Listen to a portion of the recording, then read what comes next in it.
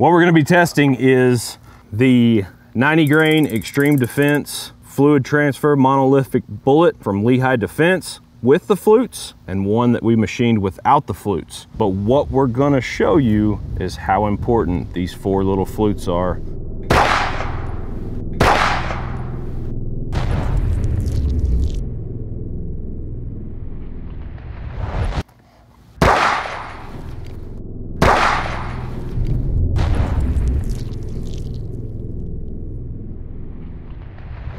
40 inches of gel, 20 inch blocks, flutes dump all of its energy in 18 inches. People can say what they want to about this being a gimmicky projectile.